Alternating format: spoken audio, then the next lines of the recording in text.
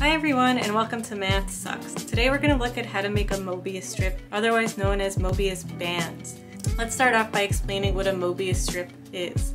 A Mobius strip is a two-dimensional shape that only has one surface and is considered a mathematical phenomenon in geometry. It was invented by German mathematician August Ferdinand Mobius and Johann Benedict Listing in the 1800s. We're going to create our own Mobius strip today and then we'll understand why this shape is so fascinating. So if this doesn't make sense, if that two-dimensional stuff that only has one surface, don't worry, we're gonna see why it's cool in a bit. Before we begin though, you may also see different spellings of the Mobius band, including these guys you see right here.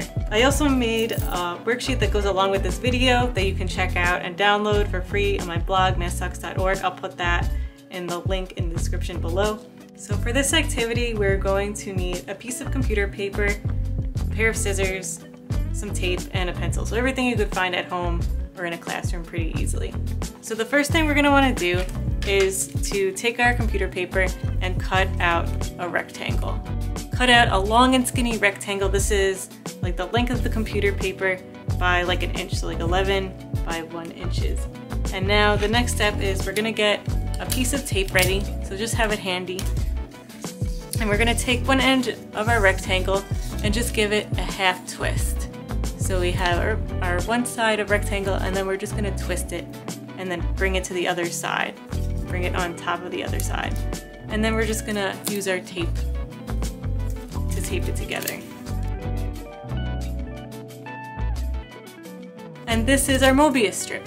So it may not look like much, but let's see why this shape is cool. So now we're gonna take our pencil and we're going to draw a line around the entire thing without lifting our pencil. So we're gonna, we can start anywhere, it doesn't matter.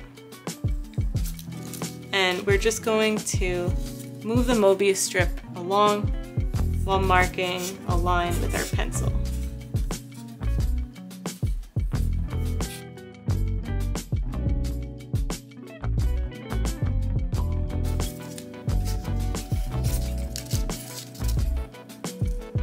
So notice that our lines meet. We've now got back to the beginning of where we started and we drew a line around the entire thing without lifting our pencil. So that's why the Mobius strip is so cool. It is has one surface even though it is two-dimensional.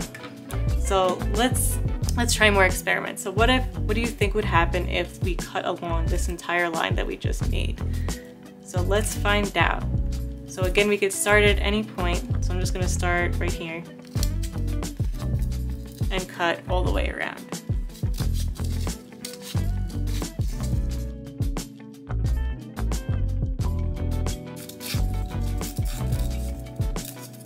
And the moment of truth, notice we just we just made a bigger Mobius strip. Our shape is still intact, so we made the exact same shape, just bigger.